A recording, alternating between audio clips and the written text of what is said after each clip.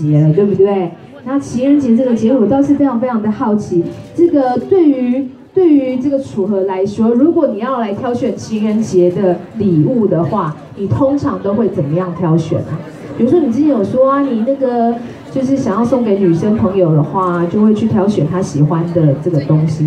那如果你要挑选情人节礼物，尤其像是如果我们来到正经店的话，你通常都会选，我不知道你会选戒指，还是会选耳环，还是会选什么样子的商品？嗯，因为我不是一个很喜欢，你我先问，你是一个浪漫的人吗？呃，应该吧，应该嗯。那你有没有想过，你有可能做过什么浪漫的事情？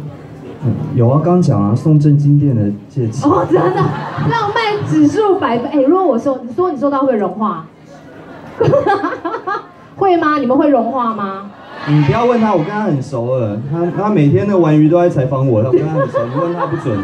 他说，我完全那个 麻麻木了，你们会融化吗？够浪漫吗？啊？什么？会会？有啦，有这边有一个，有我老公有送我啦，很浪漫的行为。好，那可是呢，我们大家都非常好奇，大家都那么喜欢你，我就很好奇啊，楚河到底喜欢什么样子的女生，或者是你期待另外一半有什么，就是跟对方发展什么样子的恋情？还我们很好奇，想要了解你多一点。你现在不用回答我，我直接从心理测验来窥探你的内心，好不好？好可以吗？，OK，他应该觉得这主持人疯了，干嘛一直调戏我？好，我们直接来做心理测验好了，好不好？嗯好，来，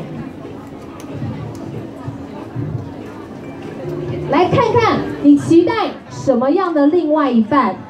然后呢，在期待恋爱的岁月里面，当然就是大家非常的天马行空的想象未来的另外一半是什么样子。结果搞不好，最后你选的那个另外一半可能是超乎你的想象哦。所以今天如果你打算告白的话，楚河会选哪一样珠宝来表达你的心意呢？那现场女生比较多嘛，对不对？所以女生就是，如果今天楚河要送给你珠宝，你要收期待收到的是哪一样的这个珠宝款式？